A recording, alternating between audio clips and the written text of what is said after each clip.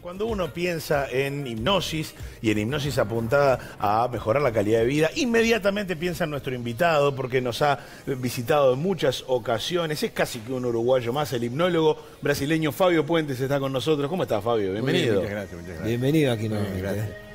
Eh, yo hace 25 años me fui de acá de Uruguay y caí en San Pablo y comencé a trabajar en el Hospital de Clínicas de San Pablo, que es el complejo eh, diríamos, de la salud más grande de, América del Sur. ¿no? Y, hoy no hemos practicado hipnosis y hoy tenemos esa posibilidad de traer aquí a Uruguay un curso de formación en hipnosis clínica para, como tú dijiste, mejorar la calidad de vida de las personas. ¿no?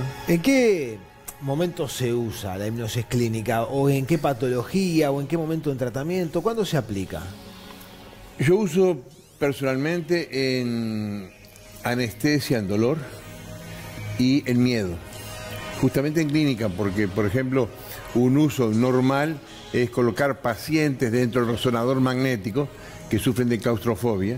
Entonces, o entran sedados o entran con hipnosis. Lo otro es en cirugías. La semana pasada eh, yo trabajé, colocamos seis implantes encima en un paciente que no podía tomar ni una dosis de, de anestesia química porque sufría el corazón, solamente con hipnosis. Eh, también la semana pasada, un alumno nuestro que es anestesista, un paciente que estaba totalmente con dependencia química, estaba drogado, había que hacer una cirugía urgente y lo sedó con hipnosis, la cirugía perfectamente bien. Bien, y eh, en esos casos, ¿qué, ¿qué, tipo de hipnosis es la que se aplica a los pacientes? Imagínate que nuestra mente es un computador donde tienes dos partes, hardware y software.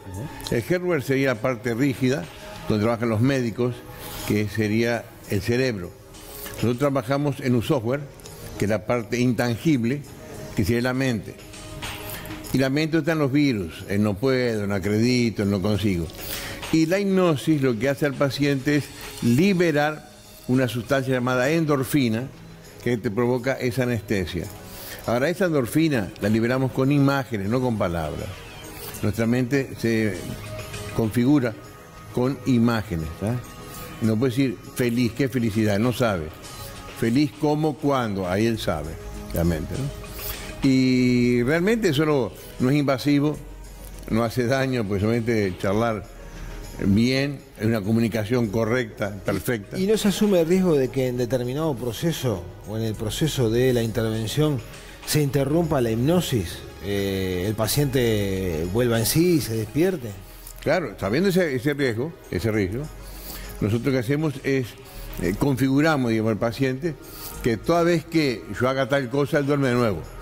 Entonces lo entreno en esa parte. Entonces, él se está acordando, yo le toco un botoncito, diríamos, y él duerme de nuevo. ¿Y qué, qué tanto tiempo de entrenamiento se precisa antes de una intervención, por ejemplo? ¿El hipnólogo? Eh, el hipnólogo con el paciente, ¿cuánto tiempo antes? Antes, ah, no, puede ser instantáneo. Puede ser en el momento. Sí, puede ser en el momento. Si la comunicación es buena, puede ser en el momento. No el, hay. ¿El paciente está eh, consciente de lo que está haciendo? Sí, está con conciencia, no está consciente. Está con, explíqueme la diferencia un poco acá. Él, tenemos conciencia y consciente. Por ejemplo, ahora tú estás consciente de hablando contigo, ¿verdad? Sí. Estás consciente.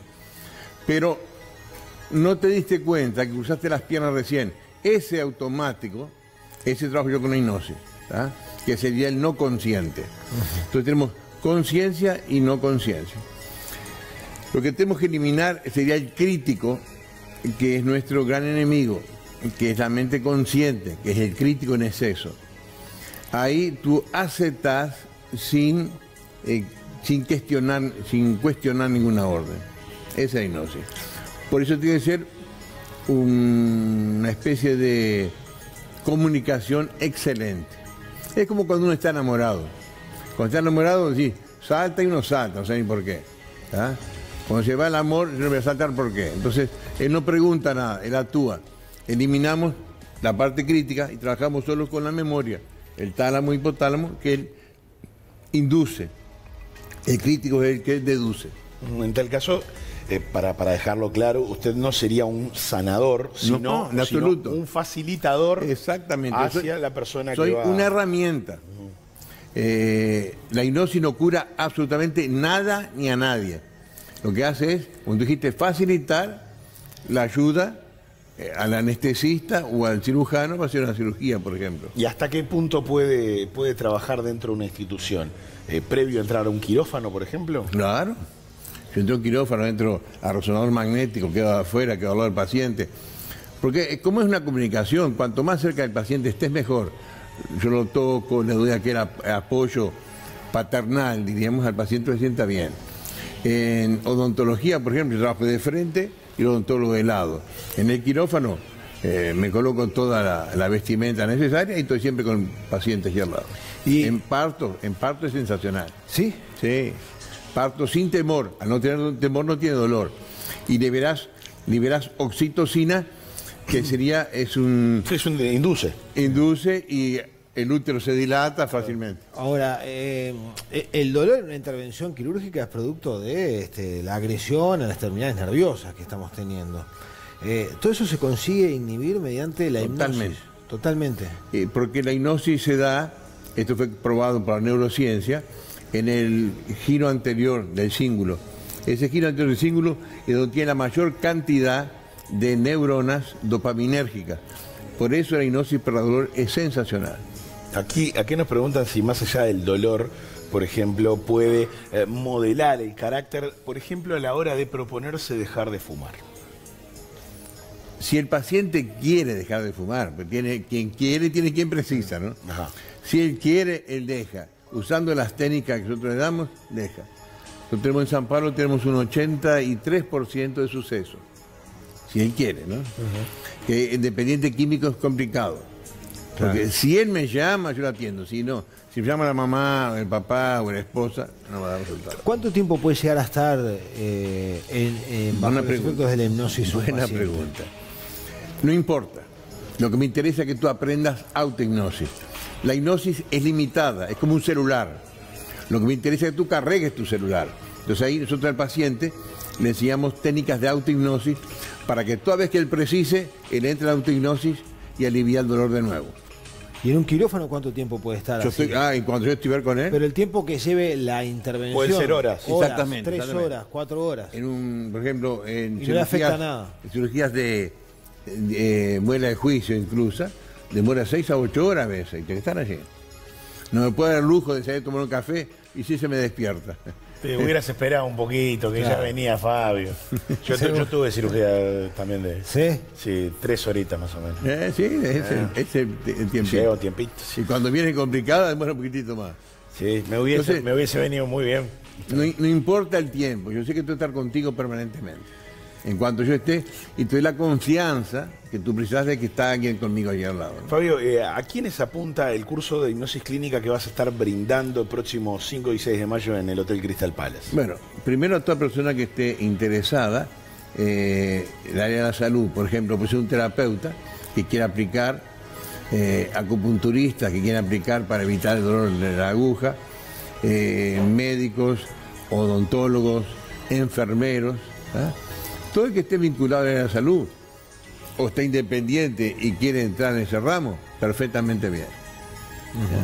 Hay acá en Uruguay eh, clínicas, hospitales, sanatorios que eh, utilicen la hipnosis para un procedimiento médico.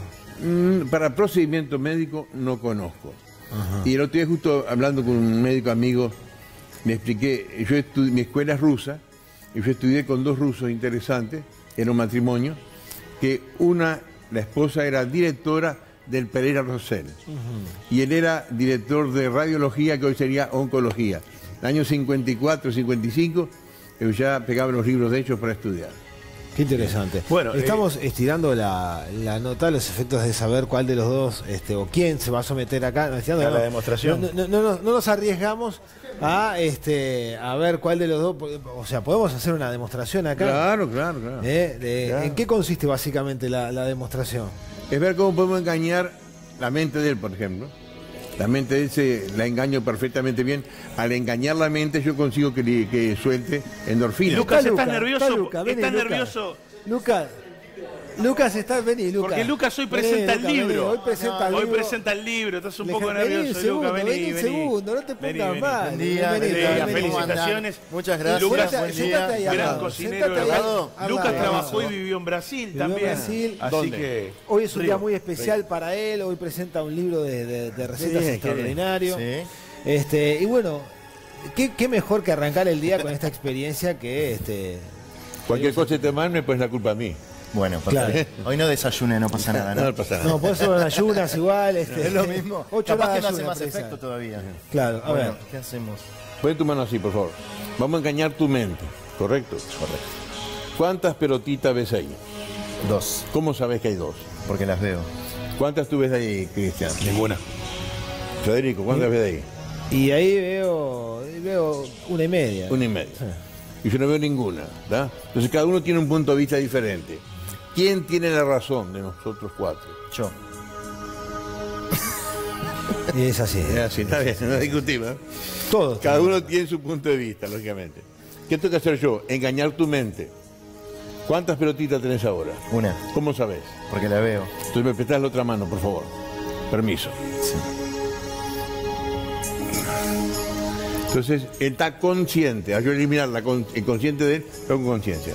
Cerra tus ojos, por favor. Ahí fica con conciencia solo. Voy a engañar la mente de él. Ahora tenés una bolita sola, ¿verdad? Eh, dos, ¿Cómo sabes que tenés dos? porque las toco. Entonces, no, esa es tu verdad, Sí. tu realidad.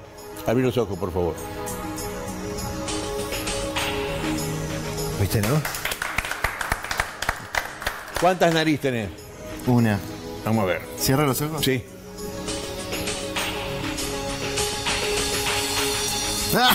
Verdad, te juro. Sentía dos. No tomaste desayuno, pero tomaste una cosa, ¿no?